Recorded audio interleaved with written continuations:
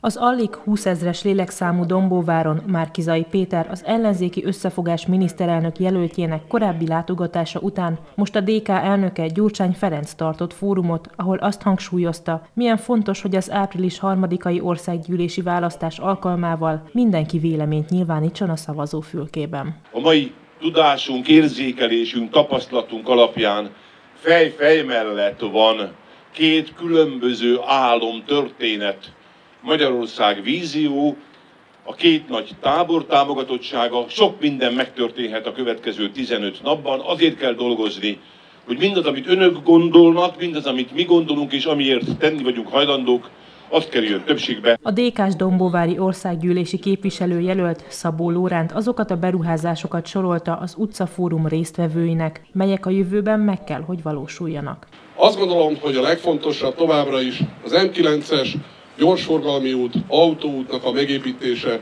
Szexár-Dombovár, Bonyhát között.